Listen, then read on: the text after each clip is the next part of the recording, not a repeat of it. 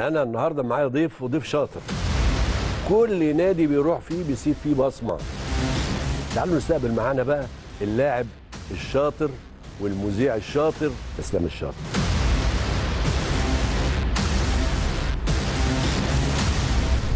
أول واحد بلغك إنك هتتدرب مع الفريق الأول. الله يرحمه كابتن البول. إمتى حسيت إن خلاص بقيت لعيب أساسي في منتخب مصر. وأنا كابتن جوهري كان بيهيئني إن أنا ألعب ماتش 5 3 ده.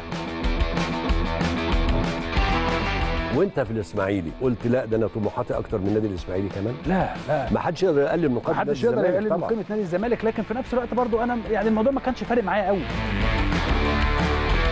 كلمتني على مدربين كتيرة جدا. كابتن محسن كان من المديرين الفنيين الواحد اتعلم منهم حاجات كتيرة جدا. أول مرة قابلك جوزيه قال لك إيه؟ خلي بالك كان هو صاحب القرار في إن أنا أمشي من النادي الأهلي. دفعت الفلوس؟ دفعت الفلوس؟ وطلعت على تركيا بعد كده؟ لا. أول بطولة خدتوها وأنت في نادي الإسماعيلي خدت كام؟ ولا مليم. أنت قلت لي قبل كده إن عبد القيع أول واحد يتكلم معاك. والله يا كابتن كان إحساس لا يصدق. عارف لما يقول لك إيه؟ شفت الكابتن خطيب فمضيت آه. هو ده اللي حصل معايا بالظبط.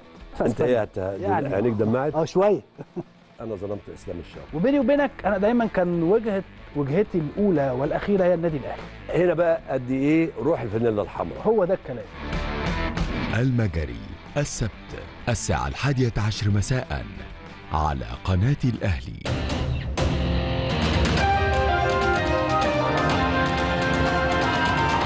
الأهلاوي مش هيسيبنا